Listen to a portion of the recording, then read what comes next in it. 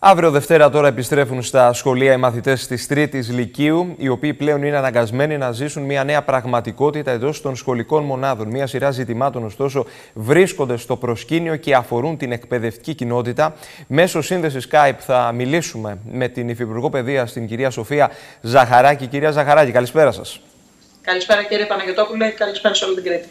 Αύριο επιστρέφουν στα σχολεία οι μαθητές της Τρίτης ε, Λυκείου και εδώ κυριαρχεί το εξής ερώτημα αν οι σχολικές μονάδες είναι έτοιμες να υποδεχτούν τους μαθητές; Κύριε Παναγιώτοπουλε, το Υπουργείο Παιδείας είναι εδώ και ήταν εδώ όλο τον προηγούμενο καιρό, έτσι ώστε να ανταποκριθεί σε αλλαγές οι οποίες ήταν πολύ ξαφνικές για όλους τους Έλληνες και όπως βλέπουμε και παντού στον κόσμο, αυτή η προσαρμογή στην αντιμετώπιση του κορονοϊού ήταν ξαφνική πάρα πολύ βία για πάρα πολλούς και για τους μαθητές μας και τους εκπαιδευτικούς, που έπρεπε ξαφνικά να βρεθούν στο σπίτι για πάρα πολύ μεγάλο χρονικό διάστημα.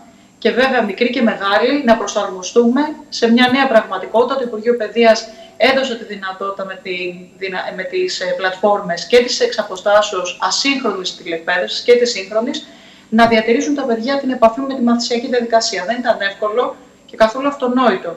Και μάλιστα θέλω να ευχαριστήσω τους εκπαιδευτικούς γονείς και παιδιά που έβαλαν πλάτη σε αυτή τη διαδικασία και μάλιστα επέμειναν την πρώτο καιρό, τον πρώτο καιρό που υπήρχε και αρκετά μεγάλο ζήτημα με το Πανελλήνιο Σχολικό Δίκτυο, επέμειναν με τις συνδέσεις τους, με τα μαθήματά τους, με το πρόγραμμά τους. Κυρία Ζαχαράκη. Λοιπόν σε μια άλλη ναι. εποχή. Ναι. Είμαστε στην επιστροφή. Και βέβαια, όπως είπατε, το μεγάλο ερώτημα είναι οι σχολικές μονάδες, γιατί πλέον τα παιδιά και οι εκπαιδευτικοί γυρίζουν στη διαζώσει διαδικασία ο εξοπλισμός, κυρία Ζαχαράκη, θα επιμείνω, βρίσκεται στην θέση του. Έχετε εικόνα; Πάμε λοιπόν να δούμε τι γίνεται με το θέμα του εξοπλισμού. Φαντάζομαι ότι μιλάτε για τα αντισηπτικά, για θέματα... Εξοπλισμός από ένα μικρό σαπούνι μέχρι ένα ναι. αντισηπτικό. Ναι, ναι.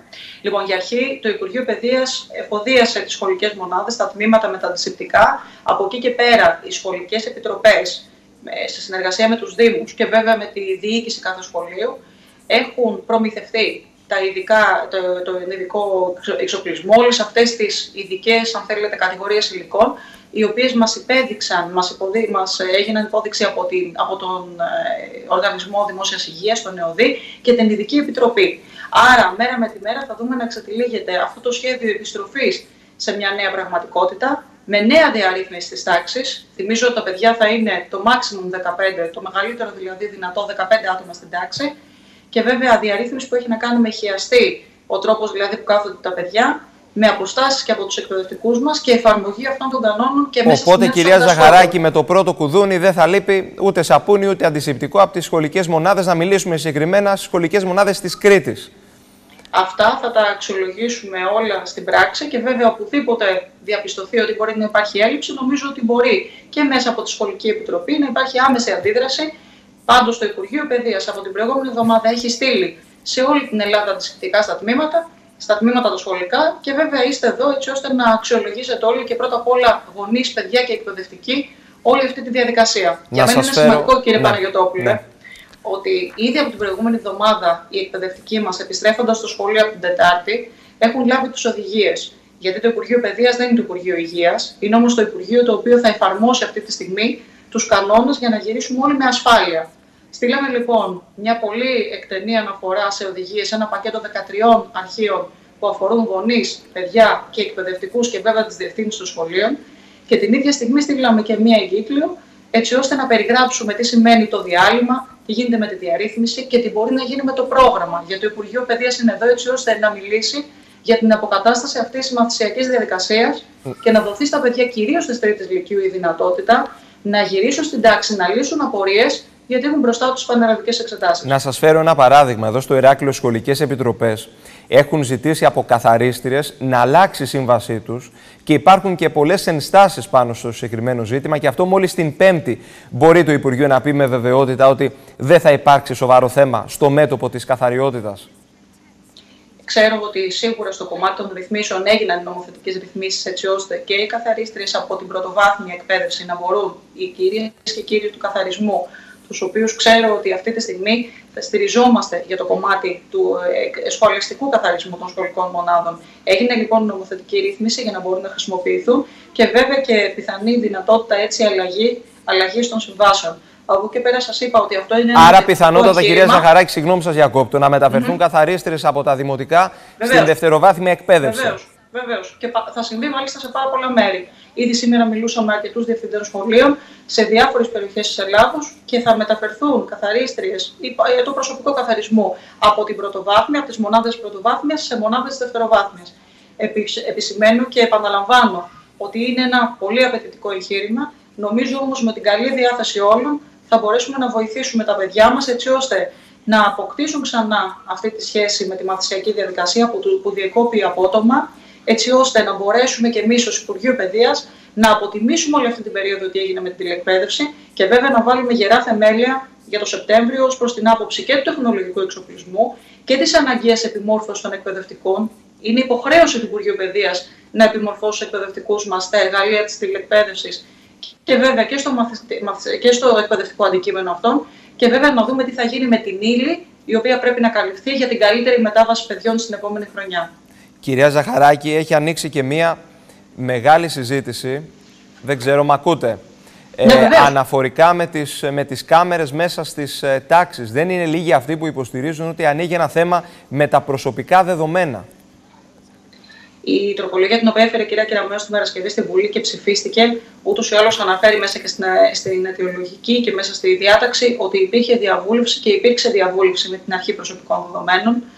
Αυτό το οποίο θέλω ούτως ή άλλως ως μήνυμα να περάσω σε όλους οι οποίοι θα επιστρέψουν αύριο και αυτούς που δεν θα μπορέσουν να επιστρέψουν, γιατί μπορεί να ανήκουν σε μια ευπαθή ομάδα ή να ανήκουν στην οικογένεια, ένα μέλος να είναι σε ευπαθή ομάδα ή και σε άδειες ειδικού σκοπού. Θα ήθελα να βάλουμε τα δυνατά μας, έτσι ώστε όλοι να μπορέσουμε να βοηθήσουμε τα παιδιά που δεν θα μπορέσουν να πάνε, είτε και με το να στείλουμε υλικό, σίγουρα πάντως να τους, αν θέλετε, να τους ε, συνοδεύσουμε σε αυτή τη διαδικασία προς τις πανελλαδικές. Όντως υπήρξε διαβούλευση και πολύ καλά κάνετε και το τονίζετε. Ωστόσο, αυτό δεν σημαίνει ότι κάτι μπορεί να πάει στραβά. Και δεν ξέρω αν σας προβληματίζει το, το ενδεχόμενο οι μαθητές ή κάποιος μαθητής να νιώσει στρες. Έχουμε να κάνουμε με εφήβους και η συμπεριφορά τους καμιά φορά είναι απρόβλεπτη. Κύριε Παναγιώτοπουλο, όσοι έχουμε υπάρξει στη σχολική τάξη, και επιτρέψτε μου να σας πω λόγω της πολιετούς εμπειρίας, ε, όχι συγκριτικά με πιο πεπειραμένους εκπαιδευτικούς, αλλά έχω υπάρξει 11 χρόνια με στις τάξεις. Ξέρω πολύ καλά τη διαδικασία η οποία αναπτύσσεται, τη δυναμική διαδικασία, τη μοναδική επικοινωνιακή διαδικασία μεταξύ των παιδιών και των μεγάλων. Λέω λοιπόν ότι αύριο επιστρέφουμε και σε αυτό επιμένω και θα μείνω. Επιστρέφουμε έτσι ώστε να διορθώσουμε και όλο αυτό το κομμάτι της αποχής που μπορεί να είχαν και πάρα πολλά παιδιά, να μην είχαν αυτή τόσο καιρό τον υπολογιστή, να μην είχαν τηλεκπαίδευση, να μην διενεργούσε το σχολείο αυτή τη, αυτή τη μορφή μάθηση και να μπορέσουμε να λύσουμε αυτές τις ανισότητες. Είμαστε εδώ, εδώ για, να λύσουμε έτσι, για, για να λύσουμε κάποιες απορίες. Και μία από αυτές τις απορίες και τα ερωτήματα που ζητούν απαντήσεις γονείς αλλά και εκπαιδευτικοί είναι αν θα υπάρξει κατά κάποιο τρόπο ισότιμη έτσι αντιμετώπιση ενός μαθητή ο οποίος βρίσκεται στο σχολείο και παρακολουθεί διαζώσεις στο μάθημα και ενός μαθητή ο οποίος βρίσκεται στο σπίτι του.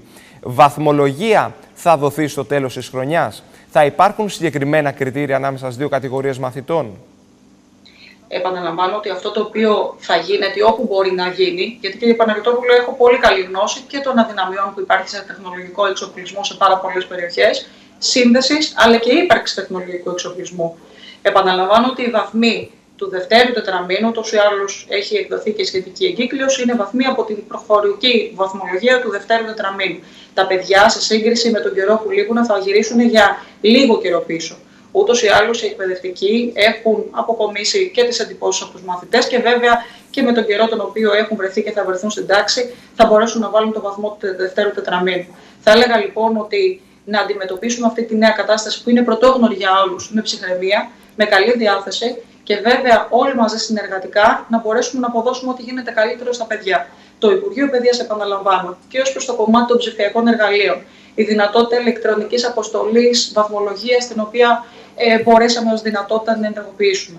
Και καινούργια καινοτόμα εργαλεία όπως η ηλεκτρονική εγγραφή νηπίων. Μικρότερα παιδιά βέβαια. Αυτά όλα τα αναφέρω γιατί θεωρώ ότι αυτή η περίπτωση, αυτή η εποχή που ζούμε η κρίση μπορεί να μετατραπεί σε ευκαιρία. Άρα λέω ότι όλοι μαζί Α προσπαθήσουμε προφανώς να λύσουμε απορίες στο επόμενο χρονικό διάστημα, το τι θα γίνει με το πρόγραμμα, τι θα γίνει με τους εκπαιδευτικούς που μπορεί να λύσουν. Ψηφιακό εργαλείο, πολύ σωστά το τονίζετε, είναι βέβαια και, και οι κάμερες παρά το γεγονός ότι υπάρχουν ενστάσεις. Και αυτό δεν πρέπει να το, να το προσπεράσουμε. Πολλοί είναι αυτοί που τονίζουν ότι σε μια σχολική εορτή, ε, εορτή μας απαγόρευσαν να τραβήξουμε φωτογραφία με το κινητό για προσωπικά δεδομένα και τώρα τοποθετούν κάμερα μέσα σε μια σχολική αίθουσα. Κύριε Παναγιώτοπουλε, επαναλαμβάνω ότι αυτή η τροπολογία πέρασε μόνο για έκτακτες περιπτώσεις, όπως πάνω χάρη μια επιδημία. Οι έκτακτες περιπτώσεις μπορεί να έχουμε όταν ένα συμβάν, το οποίο είναι μια φυσική καταστροφή, μπορεί να αποτρέψει τόσο ή άλλω την ομάδα από το να βρίσκεται στο σχολείο. Επαναλαμβάνω ότι η ουσία της εκπαιδευτικής διαδικασίας βρίσκεται εντός της τάξης. Τίποτα δεν μπορεί να την, να την υποκαταστήσει και δεν μπορεί να αντικατασταθεί. Κυρία Ζαχαράκη. Οτιδήποτε δίνεται ναι. ως δυνατότητα, επαναλαμβάνω, είναι κάτι απλά για να, που θα διευκόλυνε ούτως ή άλλως και να, ε, να δοθούν περισσότερες, αν θέλετε, ε, ευκολίες, ειδικά σε παιδιά τα οποία θα αναγκαστούν να μείνουν μακριά. Αντιλαμβάνομαι τις δυσκολίες, αντιλαμβάνομαι τις δυσκολίες και των υποδομών. Επαναλαμβάνω και το θέμα των προσωπικών δεδομένων. Κυρία Ζαχαράκη, χωρίς την, έγκριση, χωρίς την έγκριση γονέων και εκπαιδευτικών θα προχωρήσει αυτή η διαδικασία. Οι ευρωπαϊκές οδηγίες νομίζω είναι συγκεκριμένες στο ναι, ναι. συγκεκριμένο μέτωπο. Θα δοθούν διευκρινήσεις, κύριε Παναγιώτοπουλο, σε αυτό. Ούτως ή άλλως πέρασε η τέτοια πέρασε η τροπολογία, ψηφίστηκε την Παρασκευή, θυμίζω. Διευκρινήσεις θα δοθούν τι επόμενες μέρες. Αλλά επαναλαμβάνω ότι θα μιλάμε για πράγματα τα οποία προσωπικά δεδομένα, τα προσωπικά δεδομένα είναι à la carte, φαντάζομαι, κυρία Ζαχαράκη. Νομίζω με μια τροπολογία έτσι μπορεί να αλλάξουν όχι, τα προσωπικά δεδομένα δεν είναι αλλά κάτι, κύριε Παναγιώτοπουλο, με κανένα τρόπο. Γι' αυτό και έγινε η προηγούμενη διαβούλευση ναι. με την αρχή προσωπικών δεδομένων και δεν θα διακύβευε κανείς, δεν θα ήθελε να διακυβεύσει κανείς όλη αυτή την πολύ σημαντική αρχή της προστασίας ούτως ή άλλως των προσωπικών δεδομένων, αλλά και των υπόλοιπων στοιχείων που έχουν να κάνουν, επαναλαμβάνω, με την αναντικατάστατη φυσική παρουσία παιδιών και μαθητών και αυτή τη σχέση η οποία αναπτύσσεται στην τάξη. Κυρία Ζαχαράκη, υπάρχει μέρημνα για εκπαιδευτικούς οι οποίοι συγκαταλέγονται σε ευπαθείς ομάδες. Ξέρετε, έχουμε να κάνουμε με ένα γυρασμένο ναι, ε, εκπαιδευτικό προσωπικό λόγω και των μη διορισμών. Οπότε καταλαβαίνετε το πρόβλημα ίσως ε, είναι μεγαλύτερο από όσο το έχουμε έτσι αναδείξει και εμείς οι ίδιοι δημοσιογράφοι. Το πρόβλημα είναι σημαντικό ως προς το κομμάτι κυρίως της δευτεροβάθμιας. Έχετε δίκιο ότι ο μέσος όρος ηλικίας είναι σίγουρα μεγαλύτερος.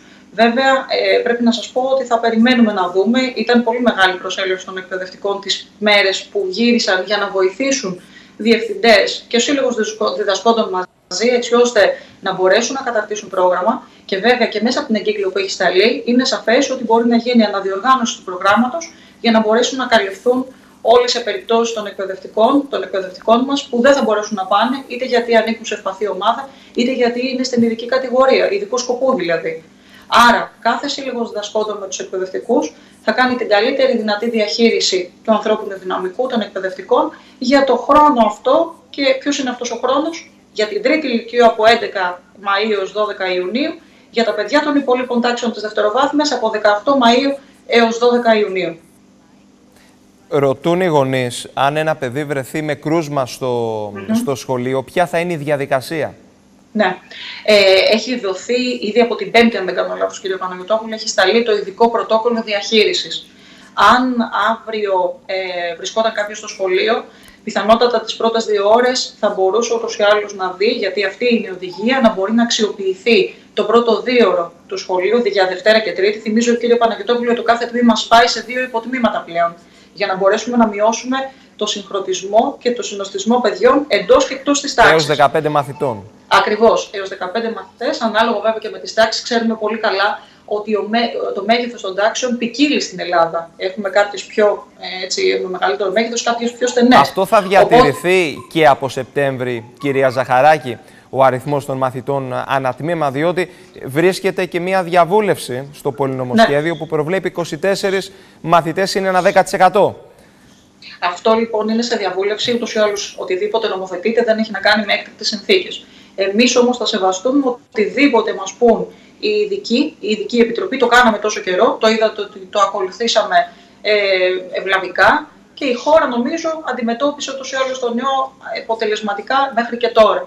Τα χαρακτηριστικά τα οποία επιβάλλει η Επιτροπή, είτε έχει να κάνει με τον αριθμό, είτε έχει να κάνει με τους ειδικούς κανόνες καθαρισμού, εμείς θα τα, θα τα εφαρμόσουμε, όπως είπα, με απόλυτη πειθαρχία και βέβαια εδώ πέρα εναποθέτουμε ούτως ή άλλως και την εμπιστοσύνη μας, αλλά και τις ελπίδες μας για την καλή εφαρμογή αυτών των κανόνων και στους, ε, στα, μικρά, στα παιδιά, τα οποία πρέπει προφανώς να ευεδώσουν μια νέα πραγματικότητα κοινωνικής απόστασης και βέβαια αποφυγής ανταλλαγής αντικειμένων, όλα αυτά τα οποία λένε οι οδηγίες. Κυρία Ζαχαράκη. Όμως, επειδή μου κάνατε μια συγκεκριμένη ερώτηση για το πρωτόκολλο, ναι. ακριβώς. Να θυμίσω ότι έχει σταλεί, όπως σας είπα πριν, από την Πέμπτη το, πρωτόκολλο, το ειδικό πρωτόκολλο τι γίνεται, το πώς δηλαδή το παιδί μεταφέρεται σε ειδικό χώρο σε κάθε σχολείο, ειδοποιείται οι γονεί, γονείς, οικογενειακός γιατρός και ΕΟΔΗ, και εκεί βέβαια υπάρχει κλείσιμο του τμήματος. Άρα αυτό είναι κάτι το οποίο σαν διαδικασία υπάρχει ήδη σε κάθε σχολείο και θυμίζω σε όσους αυτή τη στιγμή μας παρακολουθούν ότι υπάρχουν και δύο ειδικές τηλεφωνικές γραμμές στον ΕΟΔΗ και για τους κανόνες υγιεινής αλλά και για την ψυχολογική στήριξη παιδιών που τόσο καιρό έχουν μείνει εκτός σχολικής μονάδος. Κυρία Ζαγαράκη, τα δημοτικά θα ανοίξουν κανονικά; Αυτή τη στιγμή τα δημοτικά, ξέρετε, παραμένουν κλειστά και θα ανοίξουν εάν και εφόσον προς το τέλος Μαΐου, σίγουρα μετά τις 20 Μαΐου, θα υπάρξουν οι ενδείξεις με πολύ προσωπική, ε, προσεκτική μελέτη των δεδομένων από την Επιτροπή, έτσι ώστε να επιτρέπουν το άνοιγμα των δυναμικών. Αυτό σημαίνει κατ' επέκταση και παράταση της ε, σχολικής χρονιάς αν ανοίξουν 1η Ιουνίου; Αν ανοίξουν πρώτη, θα μπορεί να φτάσουν μέχρι τέλος Ιουνίου γιατί αμέσως μετά ούτως ή άλλως ξεκινούν και οι θερινές διακοπές, αλλά θα έχει ένα περιθώριο το πεδίο του Δημοτικού, αν ανοίξουν τα σχολεία, από την 1η έω 30 να ξαναβρεθεί με τη δασκάλα και το δάσκαλο.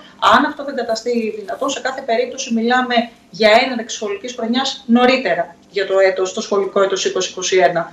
Και βέβαια πρέπει να σας πω και κάτι πολύ σημαντικό, γιατί επαναλαμβάνω ότι είμαστε εδώ για το εκπαιδευτικό κομμάτι ως Υπουργείο Παιδείας, ότι σε συνεργασία με το Ινστιτούτο Εκπαιδευτικής Πολιτικής Έχουμε ήδη ε, καταγράψει όλους τους στόχους που κάθε τάξη θα πρέπει να πετύχει και συγκαταλέγονται προς το τέλος πολιτικής χρονιάς σε τρίμηνο και τετράμηνο, έτσι ώστε να μπορεί να ξέρουν και οι εκπαιδευτικοί της επόμενης χρονιάς τι είναι σημαντικό, έτσι ώστε τα να σχολεία, στην αρχή. Τα σχολεία θα ανοίξουν 1η Σεπτεμβρίου; Στην αρχή του Σεπτεμβρίου, ναι. Τώρα μπορεί η τελική ημερομηνία, αλλά στις, στις αρχές Σεπτεμβρίου. Διορισμοί και, είναι, ναι. και αυξημένες τοποθετήσεις ε, αναπληρωτών τρέχει και το ΕΣΠΑ θα υπάρξει από τη νέα σχολική σεζόν; Υπάρχει, υπάρχουν ήδη οι προβλέψεις για τις, ε, για τις ε, πιστώσεις των αναπληρωτών. Αυτή η δουλειά, όπως καταλαβαίνετε, ξεκινάει πολύ νωρίς στο Υπουργείο Παιδείας. Πολύ σημαντικό είναι όμως και η κρεμότητα που έχουμε για την ειδική αγωγή. Γιατί έχουμε τις, ε, τη μεγάλη κατηγορία των, των αναπληρωτών μας που αναμένουν αυτή τη στιγμή, που έχουν κάνει αίτηση των οτούντων για την ειδική αγωγή και ο ΑΣΕΠ μας ειδοποιεί ούτως ή άλλως ότι εντός κάποιων ημερών θα μπορέσουμε τουλάχιστον μέχρι φαντάζομαι τέλος Μαΐου, μέσα Ιουνίου να έχουμε τα αποτελέσματα σε μια σημαντική διαδικασία για την ειδική αγωγή και θυμίζω ότι έτρεχε και η πρόσκληση για τη γενική εκπαίδευση για δασκάλους και εκπαιδευτικούς της δευτεροβάθμιας που εκεί θα αναμένουμε ούτως ή άλλως τους προσωρινούς πίνακες όταν θα καταστεί δυνατό για τον ΑΣΕΠ. Κυρία Ζαχαράκη, να σας ευχαριστήσω πολύ. Εγώ ευχαριστώ. Καλή συνέχεια. Και καλή αρχή στα παιδιά μας και στους εκπαιδευτικούς μας. Να είστε καλά.